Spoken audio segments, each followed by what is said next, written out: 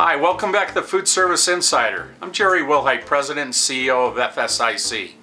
Today we're going to have a little discussion about a lot of noise that's going on in the industry today regarding GPOs. With the consolidation, the arrangement between Foodbuy and Unipro, I'm getting asked a lot of questions regarding GPO in the industry today, how they affect the industry, and I always come back with two or three questions that help us discuss GPOs and the effect they may have on our clients or on the industry.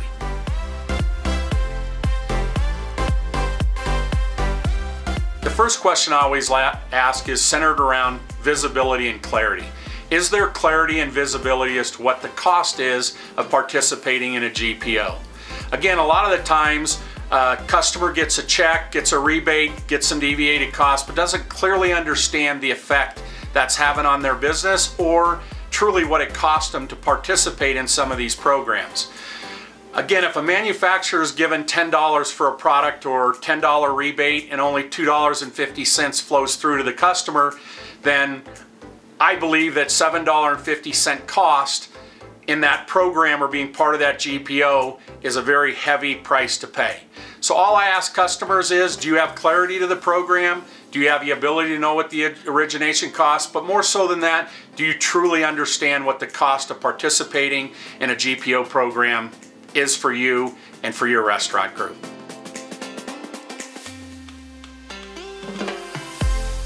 Second question is always centered around what are the income streams? How is the GPO being paid or any third party for that matter?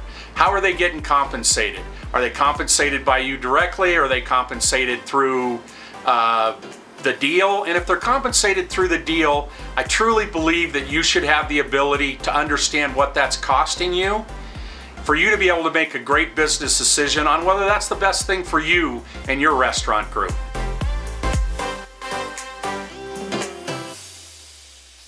So the third thing I discuss or question I ask, and again, it centers around to be able to inspect what you expect is that you always want to be able to be provided what the true cost is what it's telling you, how much you're paying, so that again, you can understand what those income streams are so you can make a great business decision and you know what the true cost does of doing business through or with a GPO.